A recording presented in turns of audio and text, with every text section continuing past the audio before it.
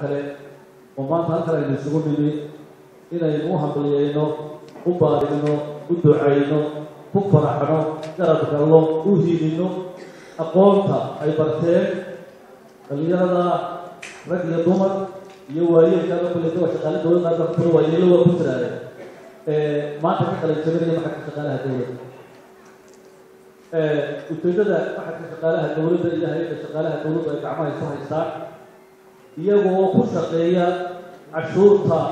dadweynaha. Waayo dowladdu xukuumaddu waxay matashaa waa shacbiga. Gacanta shacbiga iyo dhaqaalihiisa ay ku shaqaysaa waxay ka mid tahay tilmaan cad oo ka jawaabaysa waxa ay cashuurta xukuumadda ku qabato. Ay ka mid tahay inay shaqaalaha u adeegaya qaranka tayayso aqoontooda kor u qaado taabageliso sidii ay u noqon lahaayeen dad u qalma aqoon u leh. Maxaan radaa aqoontoodu sarrayso inay adeeg. Tayo leh oo qiimo leh oo bulshadu mahadiso oo guri kasta gaara ay bixin karaan iyagoo u adeegaya bulshadooda. Waxaan odhan lahaa iyagoo hadalkaan soo koobayo biidn illahi tacaala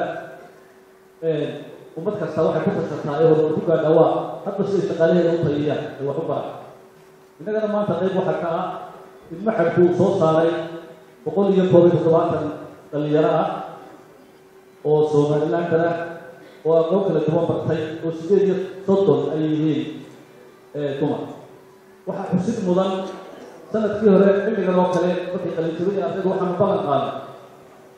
Annagoo ku hagayna hay'adda shaqaalaha iyo maxkamad siyaasadda xukuumadda uu madaxweynuhu hogaaminaya mudada muuse biixi cabdi.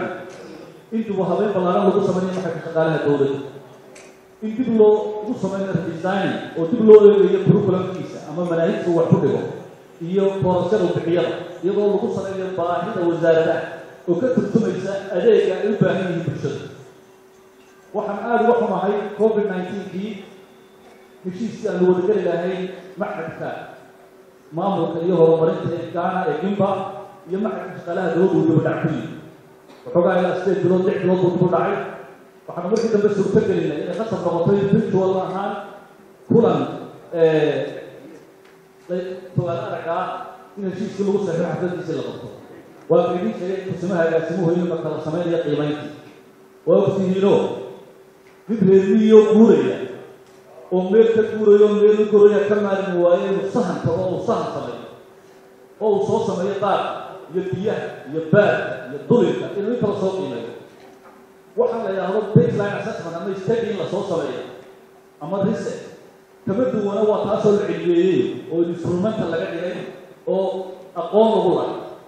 oo aqoonta in hor astaan. Iskama guuri jirteediyo ilaa ay soo eegaan marka qasab waxaa si loo dib loogu eego dib loogu hameeyo dib loogu qaameeyo habka maxadku u shaqaynayo aqoonta maxadku u shaqaynayo dib loo tayeeyo manaahijku dhigayana dib loo eego. Casharadu bixinaya iyo courses bixinaya dib loo eego. Oo la gaarsiiyo master degree iyo post graduate degree iyo iyo dib loo eego. Waxaa qasab noqotay in la sameeyo waxa la yidhaha training assessment siduu agaasimo kursimaha agaasimuhu sheegay musabe oo ah in la qiimeeyo tababarada siday ugu baahan yihiin instituushonada dowladdu. Waa la bilaabayaa siduu idin sheegay. Waxay taasi lagu jahaynaysaa xogtaas ladinka soo ururiya in si saxa loo ogaado baahiyaha wasaaradaha ka jira oo aanay noqon in la mala awaalo tababarada la bixinayo waxaa kaloo muhiima iyaduna in dhammaan wasaaradaha iyo shaqaalaha dowladda iyo wasaaradaha ka howlgala dhammaantood ay xog saxa oo lucudan oo runa ay ku soo buxiyaan daraasada annagana waxaa waajibka inuu yahay dibadhacaasnaanoo ka cudur daaraya oo ahayd sanadkan qolada inta kagelaysa la bilaabo macagfo isagoo dib u diyaariyey qaabisbeedkiisii oo dhan iyo qorshayaashiisa waxbarashada haddana dibadhacaasi covid nineteen-ka de waa duruuf aanan gacanka ku hayno ilahay qadarka ku tegin dibudhacawa ku dardaaraya taasoo ayla dardaaran weeye. Waxaan doonayaa aqoonyahan halkan inooga soo baxay inaan la dardaarmo kelmad idhaahdo oo gunaanaka kelmadayda anoo idinka mahad celinaya dadaalkii duhdi iyo waktiga gelisanaya tabartii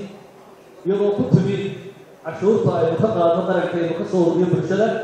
oo macallimiinta iyo maxadkaba socojiintiisa suurto gelisay uga mahad celinaya bulshadeena sida hagarlaanta ee u taageeraan xukuumadda iyo idinkana idinka idinka mahad celinaya waqtigiina geliseen waxaa lagama maarmaan noloshu laba qaybood bay leedaho qaybna waa qaybta runta oo qofku la halgamo. Dadka qaarna waxay la halgamaan sawirka nolosha imailka nolosha. Waxaa ka mid ah waxaan xusuustaa maalinta dhawada madaxweynuhu tegay boorka kahaya wuxuu yidhi waxaan uga baahanay jaamacadaha inay daraasaad sameeyaan hogaaminta iyo nidaamka horumarinta hay'adaha dowladda iyo maamulka oo halkaa ay guraan ka sameeyaan. Dadku markay commentareynaya waan leeyahay wararka iyo social media markaad barbar dhigto qof daajisgaranaya oo si aqoona u eegaya oo daraasada ka sameynaya ama xogay ka qoraya u leeyahay. Waxaan barbar dhigay shirkii xisbiga kulmiye oo halku madaxweyne ku oran lahaa labada kun iyo koob iyo labaatanka labada kun iyo labaatanka iyo labada kun iyo kow iyo labada kun iyo labada aad baa loo commentareeyay marka waxaad moodaa aqoontuna way saasoo kale waxaad arkaysaa qof aqoon bartay oo aqoontiisa ku seexatay oo qabiyaaladii wax ku qiimeynaya aqoonta halka kaga qiimeynaya marka waa mushkiladina haysataa oo u baahan inaynaan aqoonta sawirkeeda la halgamine sawirka de waa muraayada mar isku egto ka hor oo kale laakiin aqoonta runteedina la halgamina waxa weeye aqoonta baratay inkaan ii socdaa kelmadayde inay noqoto mid inventionkeeda in wax la hindiso. Waxaynu u soconnaa in jaamacadaheeda iyo maxadkoo kale waynu ka bilaabay daraasadda caafimaadka ma shaqaalu siduu heli laha ay ka fakiri lahaayeen si ay daraasaad u samayn lahayen loola lahaa maxadka shaqaalu wuxuu hindisay qorshaha noocaas. Mahad maxadka khilaafaadkii hargeysa wuxuu hindisay qorshe lagaga baxayo innovative oo lagaga baxayo